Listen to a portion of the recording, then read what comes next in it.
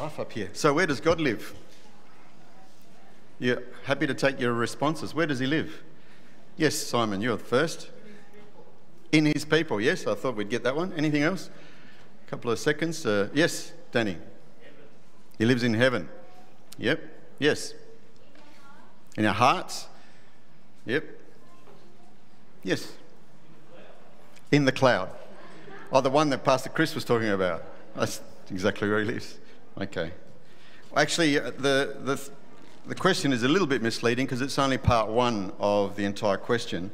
Because the question is where does God live and who does he live with?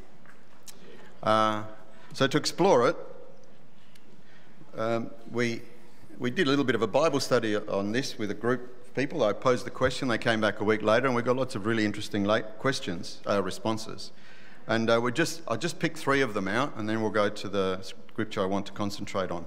So, Genesis 1, just flip through these really quickly. Genesis 1. Some of these concepts are really difficult for us as humans to understand. Um, our world is framed upon the things that we, we can see and do and uh, experience in one way or another through our senses. So some of the thoughts that we might put forward here are a little bit hard for us. So Genesis 1 1, very simple. In the beginning, God created the heaven and the earth. So everything that we know around us, God created. The question is, where was He when He created it? So he created it from somewhere, and we don't know what that somewhere is. We've got no idea. So he inhabited something, and while he was sitting around one afternoon, thought, I know what, I'll create heaven and earth. So he, he was somewhere, and then he created where we are. John 14.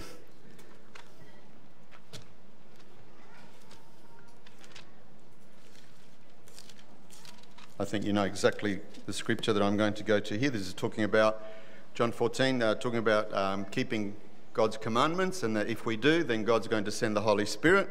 And I'll just get to the key verse, uh, verse, 16, uh, verse 15. If you love me, keep my commandments. Verse 16, Jesus speaking, I'll pray the Father, and he will give you another comforter that he may abide with you forever, or live within you.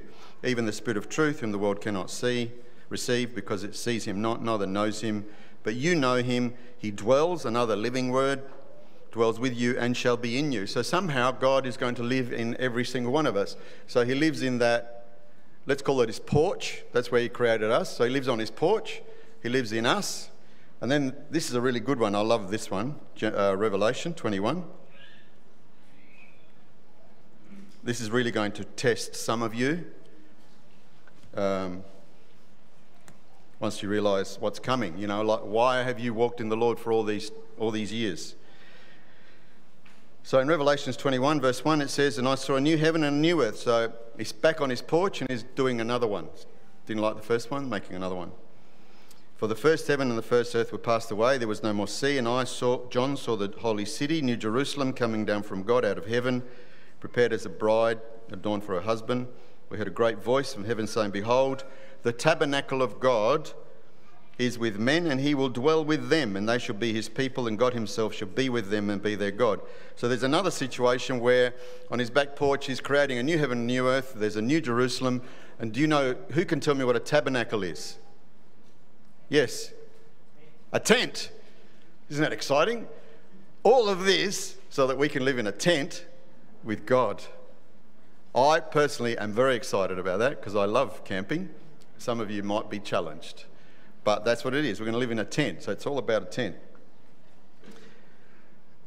They're just interesting concepts, aren't they? It, it, God's portraying, I'm going to be with you. I want to be with you. I want to be part of your lives. I want to be intimately involved with you. The one that I really want to concentrate on is Isaiah 57, if we can turn there, please. That was just a little bit of uh, fun the, this evening's talk is going to get a little bit, little bit more serious. So, Isaiah 57, verse 15. It says, For thus says, hope you're all there. is the key scripture for tonight. With us saith the high and lofty one who inhabits eternity. That's something for us to get our head around. Where the absence of time, God is going to be where there is no time. God was where there is no time. He created time as an artificial construct for us so that we can live our lives. When it all comes to an end, He's going to do away with time and He's going to live in eternity. The important thing is in verse, in the second part of that um, passage, it says, I dwell in the high and holy place, which we all desire to be in. We call it heaven. With Him also that is of contrite and humble spirit, to revive the spirit of the humble and to revive the heart of the contrite ones. It's a very, I'll read that again, it's very interesting. I dwell in the high and holy place with him that is of a contrite and humble spirit, to revive the spirit of the humble and to revive the heart of the contrite ones. So it talks about a person who is contrite. Uh, contrition is a topic that we would normally associate with repentance, but it's a little stronger than that. So, a humble person that God is happy to live with for eternity with is someone who has made themselves low, who has uh, abased themselves. The description of a humble person is one who is depressed, not as in um, mentally depressed, but made low. Okay, so you've lowered yourself. You are high, you are arrogant, you are self righteous, you've lowered yourself. And it's part of the way that we come to the Lord. Contrite is actually um, humility on steroids or repentance on steroids. The word contrite means crushed. Another word is destruction, bruise, to break in pieces, to collapse. So we're going to explore the difference between repentance versus contrition. This was uh, probably triggered by Pastor Chris's talk um, a couple of weeks back regarding David and the sure mercies of David and how the Lord was merciful towards him, even though he did some pretty um, crazy things. And we're going to have a look at his situation in a minute. The call, so let's go to Matthew, Matthew, Matthew chapter 4, please.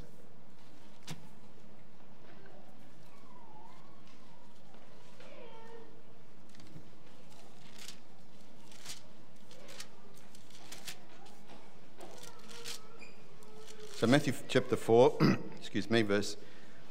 This is just after he has um, been in the wilderness uh, fasting for 40 days and 40 nights. He's been tempted by the devil. He's taken care of those things. So he begins his ministry. And there's a call from, from the Lord. Verse 17 From that time, Jesus began to preach and say, Repent, for the kingdom of heaven is at hand. And guess, I want to make a difference between the concept of repentance and the concept of contrition. Repentance is probably something that happens um, at the beginning of someone's call to the Lord. Um, and it's, um, it's something that you apply to yourself if you're facing some minor consequences in your life. Oh, I did that again. I'm so, I'm an idiot. Oh, sorry, I won't do that again. That's the, the, the, the thinking with repentance. The word repent is to think differently or to reconsider. It's quite a very powerful act because people are, too, are very proud and they refuse to do that in the first place. But those that humble themselves and reconsider their lives, like every single, body, every single person here has done, then they then follow through and they say, okay, I'd like to do this differently. What do I have to do? Um, so the call to salvation is to repent and to have a genuine desire to know God and to follow Him. Another way that you could consider repentance is that you don't really mean it. Like you've been caught by the policeman with the radar. Oh, I'm sorry, officer. No, you're not. You're sorry you got caught. You're not sorry about the act because you're not going to go away and say, I'm going to, I'm going to correct the error of my ways. I'm never ever going to do this again. You're just never ever going to get caught again, hopefully. So they're two different things. And if anyone's felt the power of the one point for a 12 month period, they'll understand what I'm talking about. You lose all your demerit points, the judge gives you one point and says, if you lose this one, you lose your license. Then you're sorry. But if you just get three demerit points, you go, meh, 300 bucks, oh, sorry about that. But you can see that there's one repentance is genuine and one is forced upon you and you go, oh, I'm sorry. Contrition. Let's go to 2 Samuel. So I've sort of painted a, a very light-hearted picture of repentance. Please, um, repentance is a very serious thing. So if we go to 2 Samuel chapter 12, this is when, um, this is just after David has, um, he's committed adultery with uh, Bathsheba, he's uh, killed her husband, and he's tried to cover it up. On those three areas, he should have been stoned to death under the law of Moses but God uh, was very merciful to him. And, we, and please refer to Pastor Chris's talk, an excellent talk on that topic. On that topic. And uh, verse 7 Nathan said to David, Thou art that man. He talked about a little story about a man stealing another man's sheep. Thou art that man, thus saith the Lord God of Israel. I anointed thee king of Israel, and I delivered thee out of the hand of Saul. I gave thee thy master's house, thy master's wives into thy bosom, gave thee the house of Israel and Judah. And if they had been too little, I moreover would have given thee such and such things. Wherefore hast thou despised the commandment of the Lord, to do evil in his sight? Thou hast killed Uriah the Hittite with the sword, and hast taken his wife to be thy wife, and hast slain him with the sword of the children of Ammon. So I guess the, the picture I'm painting here is that David is facing an extremely serious situation, something that could require his life. This isn't being caught speeding. This isn't being, oh, I'm sorry about that. Okay? This isn't a voluntary request, you know, consider the things of God and repentance. This is you, you have got a covenant relationship with God and you have done things which are despicable. And um, now the Lord is bringing them before Him and saying, What do you say, David? What are we going to do about this, David? How are we going to deal with this one, David? And so this is when that word contrition comes in. David now needs to, I guess we would say, dig deep and find within himself uh, a genuine uh, attitude of, we would say, deep, deep repentance. We're going to explore the word in a second. And so it's before him. It's been exposed, he's caught out, so to speak, and what are you going to do? One of David's greatest attributes was he was a, a, a magnificent repenter. He was terrific at repentance. Um, where are we? Now, therefore, the sword. So there were consequences. He, he wasn't just, you know, he was let off as far as he wasn't going to lose his life, but in the years to come, he was going to face the consequences of these actions. And the, the Lord um, puts them here. He says, Now, therefore, the sword shall never depart from your house. You were going to have peace, now you're going to have war. Because thou hast despised me and hast taken the wife of Uriah the Hittite to be thy wife. Thus saith the Lord, Behold, I will raise up evil against thee out of your own house.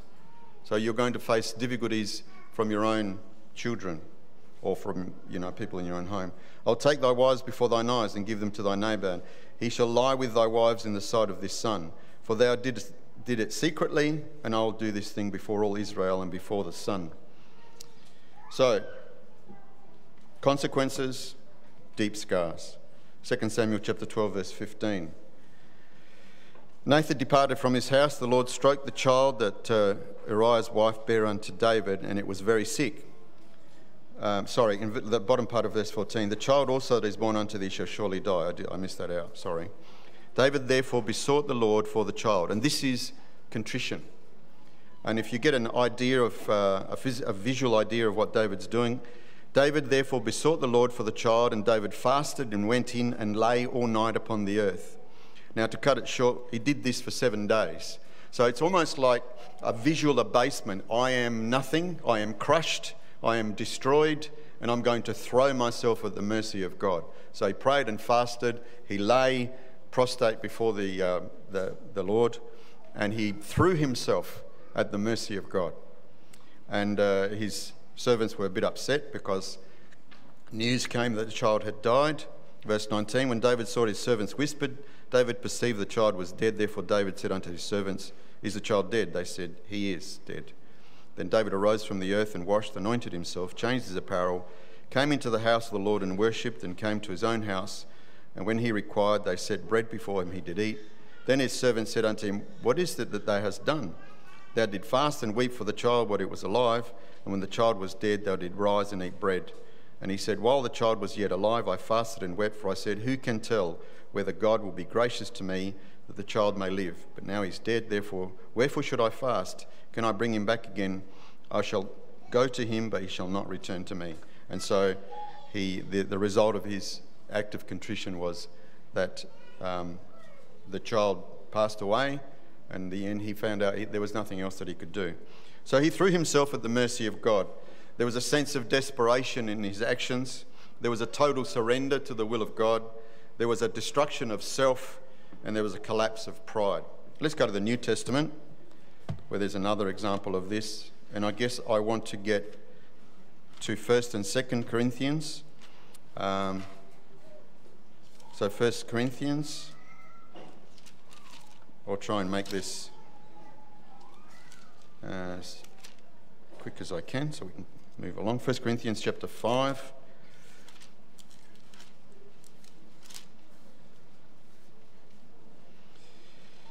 Verse 1 It is reported commonly that there is fornication among you, and such fornication as it is not so much as named among the Gentiles that one should have his father to wife.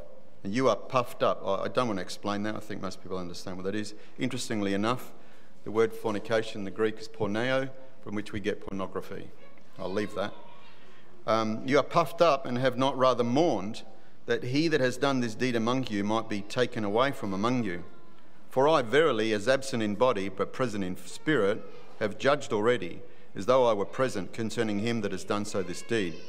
In the name of the Lord Jesus Christ, when we are gathered together, and my spirit, not talking about the Holy Spirit, he's talking about his judgment, himself, his motivation, his thoughts, with the power of our Lord Jesus Christ. Verse 5 to deliver such an one unto Satan for the destruction of the flesh, the spirit may be saved. Again, the soul of that man in the day of the Lord Jesus. So, this is uh, where we would base uh, putting somebody out of fellowship for, a mis- for something that they've done wrong.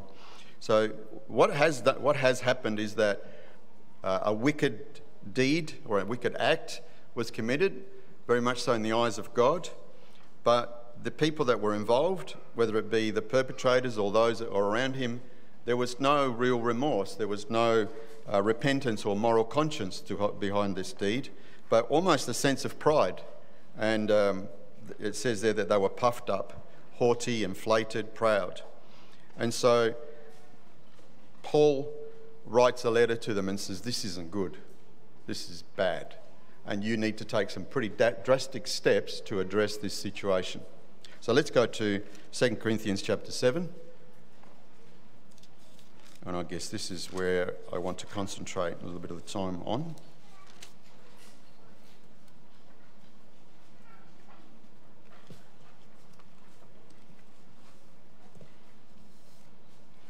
So, why, why are we talking about these things? It's because the Church of God is facing some very, very difficult times.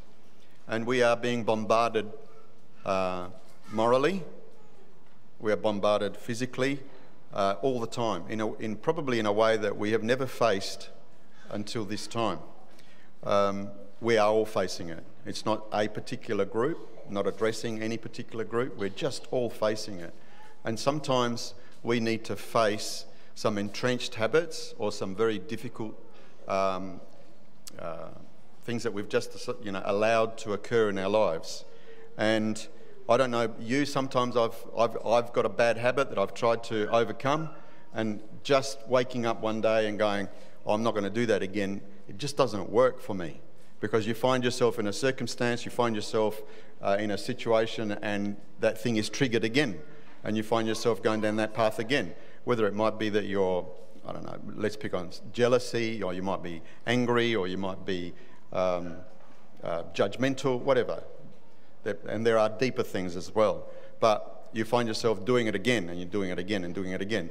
Contrition is an act where you actually go much, much deeper and you take steps to try and eliminate completely. And we'll see if we can help you with that by just looking at these words.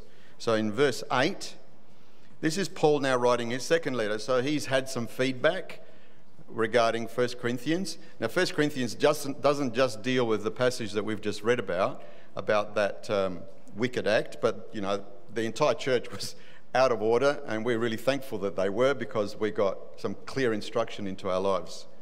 And so he goes on here to say, For though I made you sorry with a letter, I do not repent, though I did repent. And there's those words. Okay, so when I wrote the letter, I was very conscious of upsetting a lot of people. So when I confronted you with what was going on in your church, I didn't really want to do it because I knew that you'd get upset. But I'm not upset with the results of my letter.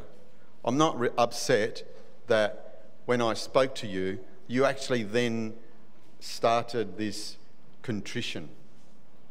And we'll read that. Um, for though I made you sorry with the letter, I do not repent, though I did repent. For I perceive that the same epistle has made you sorry, though it were but for a season. So, yes, when we individually are confronted with some probably deep seated issues in our lives, we react. And the reaction typically isn't good. You know, who are you to tell me and blah, blah, blah, all that. But then in the cold light of day, when we are considering the words that have been said to us, usually in love by someone that cares, we think, you know what? They're trying to help me, and I, should, I would do well to, to think about these things. And that's, and that's what's happening here with these people in this church. And it says, uh, verse 9. Now, here we're going to see the actual definition of contrition. And it says here, For I rejoice, not that you were made sorry, but that you sorrowed to repentance. For you were made sorry after a godly manner. So, this is the word of God working in you in a, in a really amazing way, in a really good way. And it says here, that you might receive damage by us in no things. For you knew, so you know the, you know the source that I'm, I'm wanting to help you. For godly sorrow works repentance to salvation, not to be repented of. So the end result is that I want to see you saved. I want to see you walking the Lord. I want to see you overcoming. That's the end result. Hard, hard yards along the way for this church, but let's clear these things up. We can make this work. Um, verse 11. Behold, this self same thing, what that you sorrowed after a godly sort, what carefulness it wrought in you. Yea, what clearing of yourselves. Yea, what indignation. Yea, what fear. Yea, what vehement desire. Yea, what zeal. Yea, what revenge. In all things you have proved yourself to be clear in this matter. So the process of contrition is one where you receive information that you're not too happy about. You're upset about it. You're annoyed and then afterwards you realize they're trying to help. And so, what carefulness it wrought in you. So, the desire to correct the issue, whatever it is, there's an eagerness, there's a diligence, there's a haste. You want to do it quickly. You want to fix this quickly. What clearing of yourselves? There's an apology there. There's a sense of, I've done wrong, I'm sorry. What indignation? What displeasure, what exasperation, what fury, what rage against the, the, the, uh, the issue, whatever that issue is. What fear? I'm alarmed, I'm frightened, I'm terrorized. Why? Because this could cut me off from my salvation. What vehement desire? I love that word. It's a great longing. I want to see this behind me. I want to see this fixed. I want this to be overcome. What zeal? Zeal is heat or passion or eagerness or determination. Spaniards are zealous, not always good. That, cr- that creates a lot of problems. They get hot very quickly and then repent later. Lots of repentance. So there's a passion to do this, there's an eagerness to do this, there's a determination to get this right. What revenge? It's almost like you want to have vengeance against the thing. Man, I gotcha. You know, you stab it. I'm just being very whatever. Desperate desire to demonstrate a deep, deep repentance and to realize change. That's contrition. Very different to, oh, I'm sorry. God lives in eternity with the contrite. So there are those who desperately want to demonstrate a real change of heart from, from their behavior. God honors the contrite ones. Let's go to James chapter 4. I went to Zambia once and got off the plane. I'm in the car with a brother in the Lord. And he says, Brother Raimundo, whenever they did that, I knew there was some tricky question coming. He said, Why are there wars in the world? I thought, Oh, what am I going to say? And then this came to mind. Obviously, it was the Holy Spirit, not me. Verse 1 From whence come wars and fighting among you? Come they not hence, even of your lusts that war in your members? You lust and you have not, you kill and desire to have, you cannot obtain. We're seeing a direct result of that right now in Russia, Ukraine. You fight and war, yet you have not because you ask not. You ask and receive not because you ask amiss, that you may consume it upon your lusts. You adulterers and adulteresses, know you not that the friendship of the, of the world is enmity with God? Whosoever therefore will be a friend of the world is the enemy of God.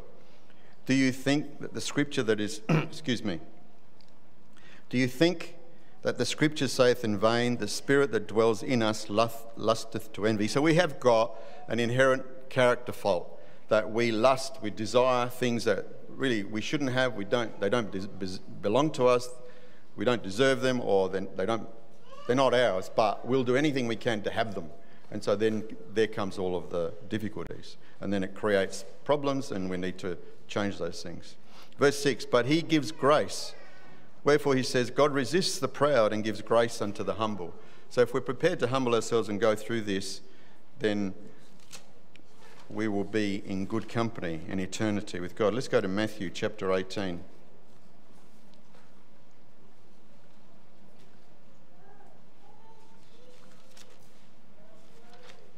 Matthew chapter 18.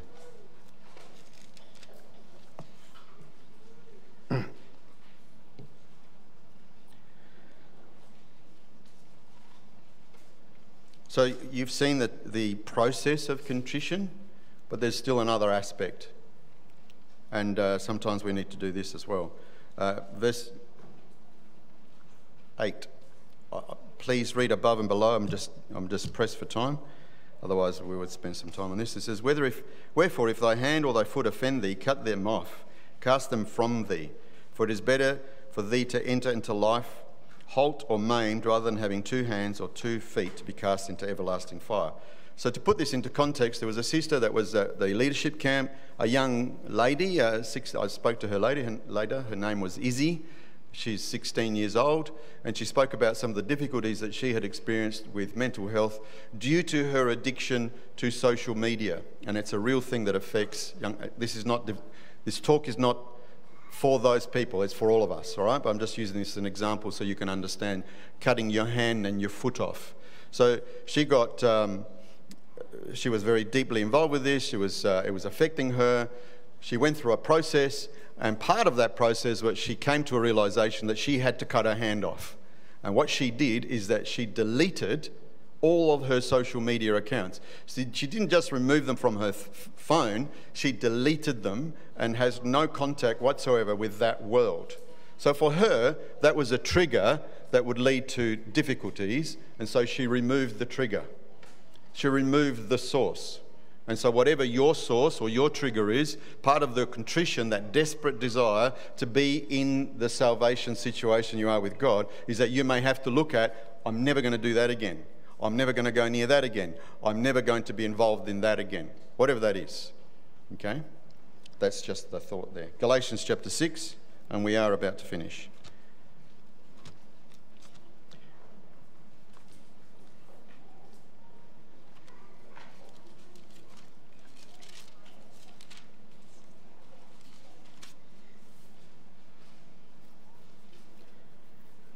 So we've been concentrating just on us, the, the personal role. What do you do when you're confronted by.